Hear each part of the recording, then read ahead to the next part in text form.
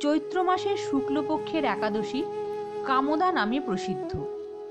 ইহার মাহাত্ম বিষয়ে শ্রী ভগবান বলিলেন, একদা রঘুবংশজ রাজা দিলীপের প্রশ্নের উত্তরে মহর্ষি বশিষ্ঠ বলিলেন, প্রাচীনকালে নাগপুর নামক নগরে গন্ধর্ব কিন্নর অপ্সরাগণ বাস করিতেন।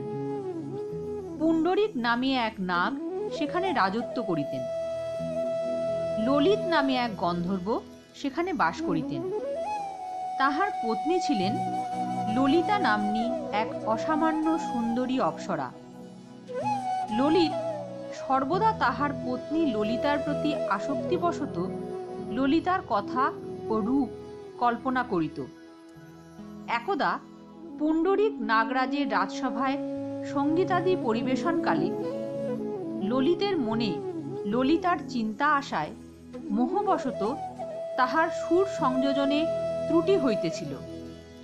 সভায় উপস্থিত কর্কট নাগ ইহা বুঝিতে পারিয়া রাজাকে কথাটি জানায় এবং রাজা অত্যন্ত ক্রোধ করিয়া ললিতকে রাক্ষসজনী প্রাপ্তির অভিশাপ দেয়। রাক্ষসজনী প্রাপ্ত গন্ধর্ব ললিত বনে বনে ঘুরিয়া বেড়াইতে লাগিল।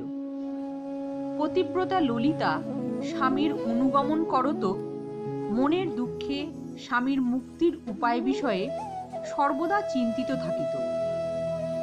এই রূপে একদা বনে ঘুরিতে ঘুরিতে এক সুন্দর আশ্রম দেখিতে পাইল। তত্রস্থিত এক সৌম্যমূর্তি ঋষিকে দেখিতে পাইয়া আশান্বিত চিত্তে তাহার নিকট গিয়া প্রণাম করিল।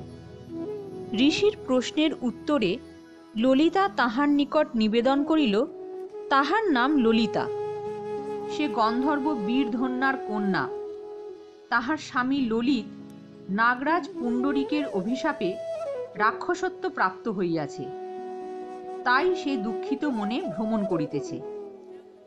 ইহা শুনিয়া মুনি তাহাকে কামদা একাদশী অর্থাৎ চৈত্র মাসের শুক্লপক্ষের একাদশী বিধিপূর্বক পালন করিয়া তাহার ফল ললিতকে প্রদান করিবার উপদেশ দিলেন। ললিতা বিধিপূর্বক ব্রত পালন করিয়া শ্রী ভগবানের সম্মুখে তাহার পুণ্যফল স্বামীকে প্রদান করিলে উভয়েই দিব্যদেহ প্রাপ্ত হইয়া স্বর্গলোক গমন করিলেন। এই ব্রতকথা শ্রবণ করিলে বাজপেয় যজ্ঞের ফললাভ হয়।